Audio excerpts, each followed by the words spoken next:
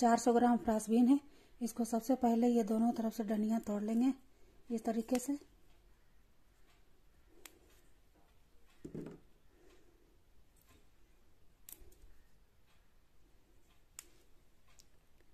या तो ऐसे तोड़ लीजिए दोनों तरफ़ से ऐसे। छोटे छोटे टुकड़ों में काट लीजिए। या तो एक चक्कू की मदद से इसको ऐसे एक साइज़ में काट लीजिए।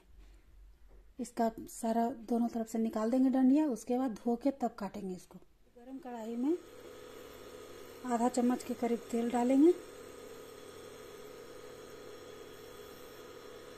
इसके बाद दो लाल मिर्च।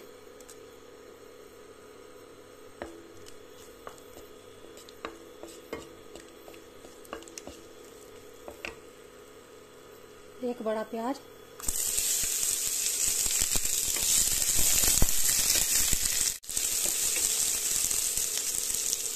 दो कटे टमाटर।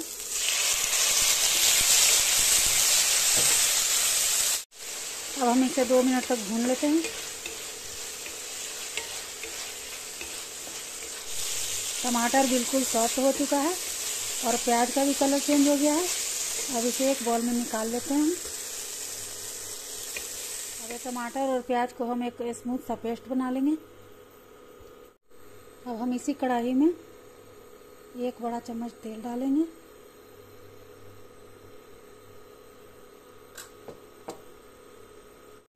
अब हम डालेंगे आधा चम्मच जीरा। अब देखिए जीरा क्रैकर हो चुका है। अब इसमें डाल देते हैं काजू।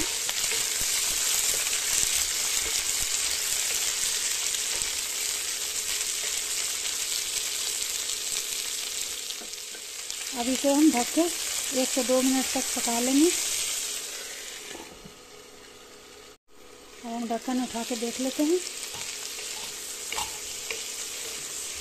ये देखिए थोड़ा सा फ्राफिन सॉफ्ट हो चुका है। अब इसमें डालेंगे आधा चम्मच हल्दी पाउडर।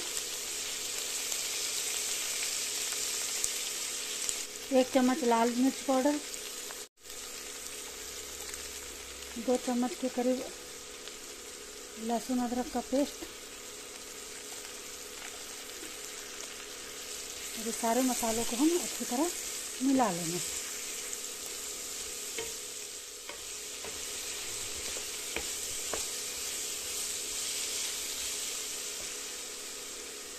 और जो ये पेस्ट बना के हम रखे थे, वो भी डाल देंगे इसमें।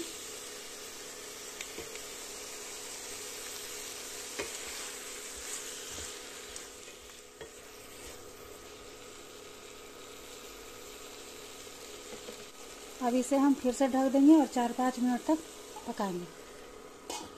अब हम डालेंगे इसमें स्वाद अनुसार नमक।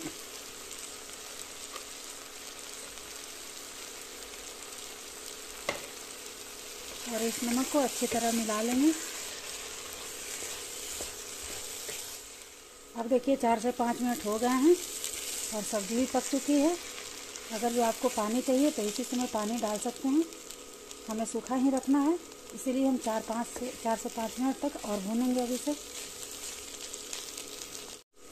चार से पाँच मिनट तक हो गए हैं सब्ज़ी, भूनते हुए हमें। और देखिए, कलर भी बहुत प्यारा आया है। अब इसे हम एक बॉल में निकाल देते हैं।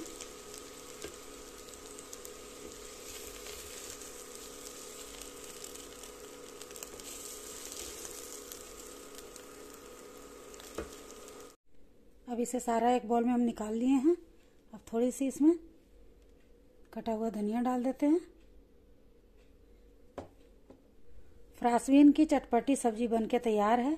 अब अपने घर में बनाइए, खाइए इंजॉय कीजिए और कमेंट्स करके ज़रूर बताइएगा कि कैसा बना। पूरी वीडियो देखने के लिए थैंक यू